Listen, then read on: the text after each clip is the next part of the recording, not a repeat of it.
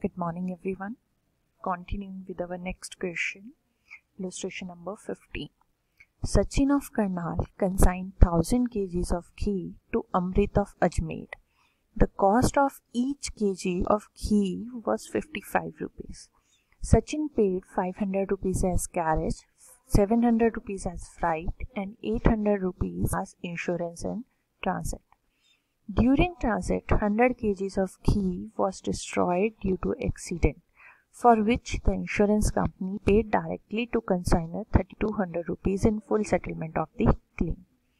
After three months from the date of consignment of goods, Amrit reported that 750 kg of ghee was sold at the rate of 70 rupees per kg and the expenses incurred on go down rent 1000 and on marketing rupees 1800 amrit is entitled to a commission of 6% on sales amrit also reported a loss of 20 kgs of ghee due to leakage prepare necessary accounts in books of both the parties अब यहाँ पर आप देख रहे हैं कि abnormal loss पहले हुआ है during transit 100 kgs of ghee ये जो है वो एबनॉर्मल लॉस हुआ है। और जो 20 केजीज ऑफ़ घी है, वो नॉर्मल लॉस हुआ है और वो बाद में हुआ है। तो इस केस में हम पहले एबनॉर्मल लॉस निकालेंगे और जब उसके बाद नॉर्मल लॉस के अकॉर्डिंग हमारा जो कॉस्ट ऑफ़ अनसोल्ड स्टॉक है वो कैलकुलेट होगी।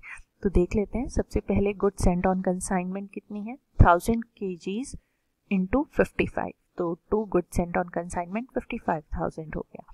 कैश एक्सपेंसिस जो उसने इंकर किए five hundred seven hundred and eight hundred तो to cash account expenses two thousand हो गया। देन अमृत ने जो एक्सपेंसेस किए थाउज़ेंड गो डाउन रेंट के और मार्केटिंग पर एटीन हंड्रेड तो to Amrit expenses twenty eight hundred rupees Amrit ने सोल्ड कितना किया है?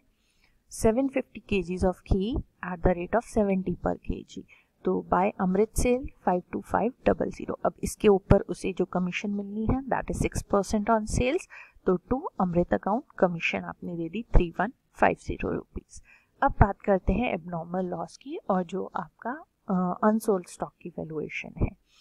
आपका 100 kgs of ghee were destroyed due to accident और टोटल टू थाउज़ेंड रुपीज़ के जो हैं एक्सपेंसेस कंसाइनर ने इंकर किए हैं। तो cost of thousand kgs of ghee at the rate of fifty five पर के जी फिफ्टी फाइव थाउज़ेंड हो गया। एक्सपेंसेस जो कंसाइनर ने किए हैं कैरेज फ्राइट इंश्योरेंस तो total cost thousand kgs of ghee की होगी फिफ्टी सेवन थाउज़ेंड अब ऑलरेडी दिया हुआ है कि 100 के आपका एबनॉर्मल लॉस हुआ है. तो 57,000 कॉस्ट है आपकी थाउज़ेंड के ऑफ़ घी की तो 100 की कितनी होगी? तो 57,000 divide by 1000 into hundred fifty seven hundred rupees आपकी कॉस्ट हो गई एबनॉर्मल लॉस की. अब बात करते हैं हम जो आपका अनसोल्ड स्टॉक है उसकी। आपका टोटल जो आपका गुड्स आपको भेजी थी वो थी थाउज़ेंड रुपीज़ उसमें से अब नॉर्मल लॉस हुआ आपका हंड्रेड का। नॉर्मल लॉस उसने रिपोर्ट किया है ट्वेंटी तो thousand minus hundred and minus twenty ये बचा आपका एट एट्टी क्वांटिटी जो बची। और आपने सोल्ड कितना किया है? हम देख लेते हैं। उसने सोल्ड किया है सेवन फिफ्टी के और एट एट्टी में से सेवन फिफ्टी के उसने सोल्ड किया है। तो जो डिफरेंस आएगा वो आएगा आपका 130 थर्टी का, जो आपका अनसोल्ड स्टॉक है। तो अब थाउज़ेंड के की कॉस्ट थी fifty seven thousand rupees hundred जो आपका एबनॉर्मल लॉस था उसकी कॉस्ट थी फिफ्टी सेवन हंड्रेड तो आपकी नाइन हंड्रेड की कॉस्ट आई five one three double zero अब नाइन हंड्रेड की कॉस्ट है five one three double zero उसमें इसके बाद आपका लॉस हुआ ट्वेंटी का. तो ये जो कॉस्ट है five one three double zero ये कॉस्ट रह गई एट एट्टी क्वांटिटी की. तो five one three double zero divide by eight eighty into one thirty तो आपका आ गया value of stock of one thirty of ghee. तो अब इसे हम अकाउंट में लिखते हैं कंसाइनमेंट अकाउंट तो बाय अब normal loss account and by stock on consignment account balance आप करेंगे तो आपका प्रॉफिट या लॉस की जो भी अमाउंट है वो आ जाएगी। अब अमृत का अकाउंट सेम उसी तरीके से, बाकी अकाउंट्स उसी तरीके से बनेंगे आपके। तो टू कंसाइनमेंट हमने सेल्स लिख दिया। By consignment expenses by consignment commission and balance आपका आ गया। देन उसके बाद to good send on consignment account तो by consignment account fifty five thousand और उसे ट्रांसफ़र हमने किया ट्रेडिंग अकाउंट में क्लोज करने के लिए। देन उसके बाद स्टॉक ऑन कंसाइनमेंट अकाउंट आपका to consignment account seven five seven eight by balance C D seven five seven eight अब नॉर्मल लॉस जो आपका हुआ to consignment fifty seven hundred insurance company ने पे किया थर्टी टू हंड्रेड तो बाकी आपका ट्रांसफ़र हो गया P and L account then consignee के अकाउंट्स में सचिन का अकाउंट बनाएँगे तो वही जो हमने बात की थी कि ऑपोजिट हो जाता है तो by cash sales five two five double zero hundred to commission three one five zero and बाकी आपका बैलेंस हो गया। देन कमीशन अकाउंट में by Sachin account three one five zero इसे हमने ट्रांसफ़र किया to P and L account three one five zero तो ये था आपका क्वेश्चन नेक्स्ट जो हमारा टॉपिक है दैट इज़ ओवर कमीशन इसका क्वेश्चन हम एक पहले भी कर चुके हैं और उससे पहले भी जब हमने टाइप्स ऑफ़ कमीशन की थी तो वहाँ पे हमने किया था कि ओवर राइडिंग कमीशन क्या होती है? ओवर राइडिंग कमीशन का मतलब है या कब हम इसे देते हैं? जब जो आपका कंसाइनी है वो गुड्स को से, सेल जो कर रहा है वो उस प्राइस से ज़्यादा पर सेल कर रहा है जो प्राइस आपने उसे बोला है।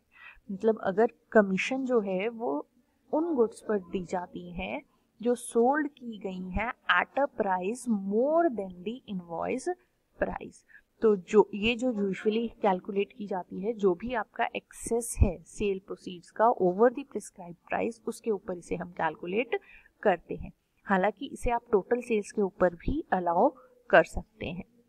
जो मेन मोटिव uh, है ऑब्जेक्टिव है इस टाइप ऑफ़ कमीशन को देने का वो ये है कि जो कंसाइनी है, वो सेल करे गुड्स मैक्सिमम पॉसिबल प्राइस पर तो इसका एग्जांपल पहले हम देख लेते हैं Ravi of Delhi sent on consignment hundred coolers costing twenty five hundred rupees each to Amit of करना The terms of consignment were as follows. Normal selling price of one cooler will be 2900 rupees. commission to consignee will be entitled as follows. 6% commission on normal price. Normal price is aapka 2900 rupees. Then uh, 20% commission on excess of sale proceeds if the selling price exceeds the normal price. And 1% del credit commission on total sales. Amit sold the coolers in the following manners. 40 coolers at the rate of rupees 3100 per cooler. 15 coolers at the rate of 3000 per cooler and 25 coolers at the rate of 3200 per cooler. Calculate the amount of commission. Total sales उसकी कितनी हुई तो 40 into 3100, 15 into 3000 and 25 into 3200. तो ये आपका total आया two lakh forty nine thousand का normal commission selling price पर जो मिलनी है दैट इज़ जो सेल्स उसका टोटल हुआ, उसके ऊपर जो नॉर्मल कमीशन उसे मिलनी है six percent on total sales price तो two four nine triple zero उसकी टोटल सेल्स हुई है। टोटल सेल्स के ऊपर हमने सिक्स परसेंट उसे commission the. Then overriding commission twenty percent on surplus price actual में किया उसने, कितना टोटल सेल्स कितने की की उसने? Two four nine triple zero but actual में जो सेल्स के अकॉर्डिंग नॉर्मल सेलिंग प्राइस के अकॉर्डिंग उसकी वैल्यू होनी थी, वो कितनी होनी थी? तो 40 प्लस 15 प्लस 25 ये हो गया आपका forty fifty sixty seventy and eighty coolers जो है। Eighty into twenty nine hundred तो eighty into twenty nine hundred हम करेंगे तो ये आएगा टू थर्टी टू थाउज़ेंड तो टू फोर्टी नाइन थाउज़ेंड की उसने सेल की जो नॉर्मल सेलिंग प्राइस के अकॉर्डिंग होनी थी two lakh thirty two thousand की। तो इन दोनों का डिफरेंस जो है that is surplus price that is seventeen thousand तो twenty percent on surplus price twenty percent seventeen thousand का उसकी ओवर राइडिंग कमीशन हो गई। Then del credit commission one percent पर टोटल सेल्स प्राइस के टोटल सेल्स प्राइस जो sales उसने किया है that is two lakh forty nine thousand का वन परसेंट तो ये उसकी डेल क्रेडिट कमीशन हो गई। तीनों को आप ऐड करेंगे तो उसकी टोटल कमीशन आ जाएगी। इसका एक क्वेश्चन हम देख लेते हैं। Illustration number sixteen thousand phones were consigned by Vinay to Ajay at a price of four fifty rupees per phone Vinay paid freight eight thousand rupees insurance three thousand rupees Vinay received a bank draft of one lakh fifty thousand as advance from Ajay The selling price of a phone was 540 rupees. Ajay was entitled to a commission of 5% on selling price. Any deficit in selling price was to be borne by Ajay and 30% of the surplus of selling price was to be retained by him. After three months, Vinay received an account sales intimating that 850 phones were sold by Ajay for 4,90,000 and the expenses incurred by Ajay were go down rent 2000 and selling expenses 1000. Give journal entries in the book of Vinay and prepare consignment account. तो total phones कितने consignment पे भेजे आपने thousand into four forty expenses कितने किए eight thousand and three thousand तो लिख लेते हैं कंसाइनमेंट अकाउंट में to good sent on consignment four lakh fifty thousand cash expenses eleven thousand Ajay ने जो एक्सपेंसेस किए हैं गोडाउन रेंट टू थाउज़ेंड का एंड सेलिंग एक्सपेंसेस थाउज़ेंड के। तो to Ajay expenses three thousand आ गया आपका। अजय ने सेल्स की है हमारी फोर लाख नाइन्टी थाउज़ेंड की एट फिफ्टी फोन्स की। तो by Ajay account sales four ninety और उसके ऊपर कमीशन आपने दी। उसे three two two five zero. Commission को कैसे कैलकुलेट किया है, पहले हम वो देख लेते हैं। फाइव परसेंट आपकी ऑर्डनरी कमीशन मिलनी है ऑन सेल्स तो फाइव फोर्टी का उसने पर पीस सेल किया तो five forty into eight fifty ये बना four lakh fifty nine thousand इसके ऊपर फाइव परसेंट ऑर्डनरी आपने कमीशन उसे दी। अब थर्टी परसेंट जो भी उसने सरप्लस रियलाइज़ किया, अब एट फिफ्टी उसने सोल्ड एक्चुअल में किए कितने के? फोर नाइन्टी के। तो four ninety minus four lakh fifty जो डिफरेंस है थर्टी वन थाउज़ेंड उसका थर्टी परसेंट जो है, उसे एज अ कमीशन की फॉर्म में मिला। तो ये आपकी टोटल कमीशन हो गई। Three two two five zero तो टू अजय अकाउंट कमीशन आ गया। अब क्लोजिंग स्टॉक की वैल्यूएशन हम करें। आपने टोटल उसे जो भेजे जो फ़ोन्स भेजे, वो भेजे आपने उसे थाउज़ेंड फ़ोन्स उसमें से एट फिफ्टी उसने सोल्ड कर लिए। तो जो क्लोजिंग स्टॉक बचा, वो बचा वन फिफ्टी फ़ोन्स का। तो one fifty phones at the rate of 450 per phone आया six seven five double zero का। प्रोपोर्शनेट एक्सपेंसेस जो कंसाइनर ने किए eleven thousand divided divided by thousand eleven thousand उसने किए थाउज़ेंड फोन्स पर।